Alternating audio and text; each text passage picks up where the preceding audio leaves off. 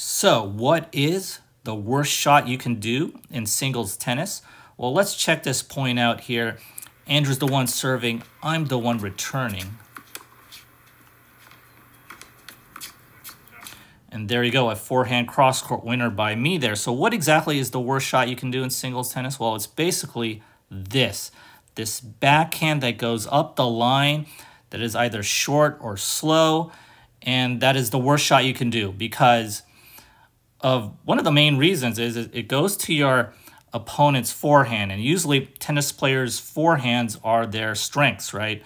Um, also, once it does go to their forehand, right? Well, that cross court ball is wide open, and whenever you hit cross court, the ball will go away. And so once it bounces, it goes away, and it's going to be tough to retrieve that ball. Also, the, the recovery, right? So let's let's go back here.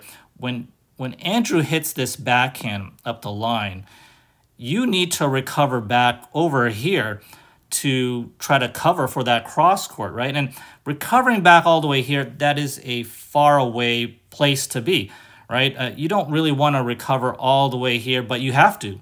You have to if you hit that uh, that up the line shot to your opponent's forehand. So, so many things wrong with that shot. You must avoid that shot as best as possible. Smart players will, will try to force that backhand, right? to go short on you. And that should be your goal too, as well as a player, as a tennis player looking to win points. But try to be as you know as disciplined as possible with your backhands to go cross court.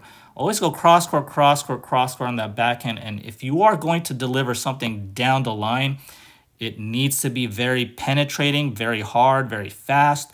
You can't just float it up there to their forehand side. So Remember that when playing tennis, do not do that backhand up the line, short or slow, to your opponent's forehand.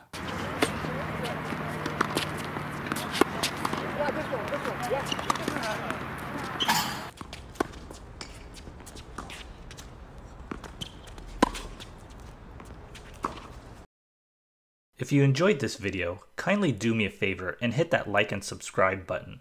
As always, thanks for watching, and I'll see you next time.